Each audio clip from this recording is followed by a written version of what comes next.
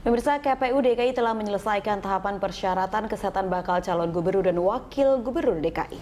KPU DKI akan menetapkan nama pasangan yang lolos pada tanggal 24 Oktober mendatang.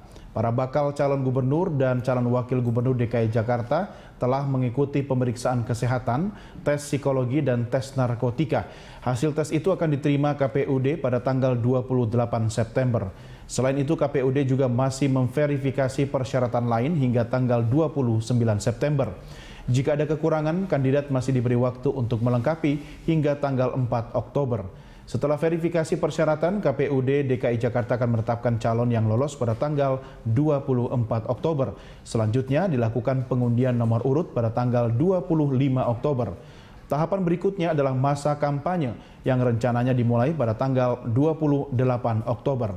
Pilkada serentak akan digelar pada tanggal 15 Februari 2017.